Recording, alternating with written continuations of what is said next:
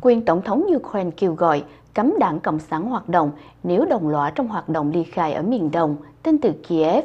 Trong bài nói chuyện tại Quốc hội hôm nay, quyền Tổng thống Ukraine, ông Alexander Turchinov đã lên án đảng các vùng và đảng Cộng sản liên quan đến cuộc nổi dậy ly khai ở miền đông Ukraine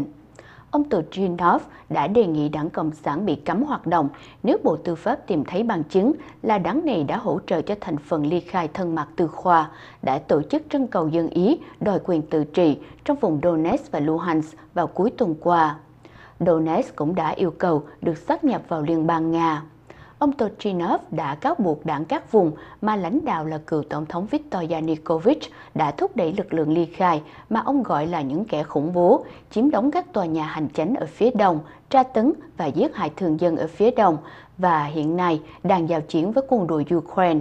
Ông Turchinov đã cáo buộc lãnh đạo của đảng Cộng sản Ukraine, ông Petro Simonenko, đã tuyên truyền những lời nói dối của phương tiện truyền thông Nga và nói thêm rằng, ông sẽ yêu cầu Bộ Tư pháp điều tra sự tham gia của đảng Cộng sản trong việc hỗ trợ lực lượng ly khai. Donetsk và Luhansk có tổng cộng khoảng 6.5 triệu cư dân và chiếm khoảng 1 phần 3 sản lượng công nghiệp của Ukraine.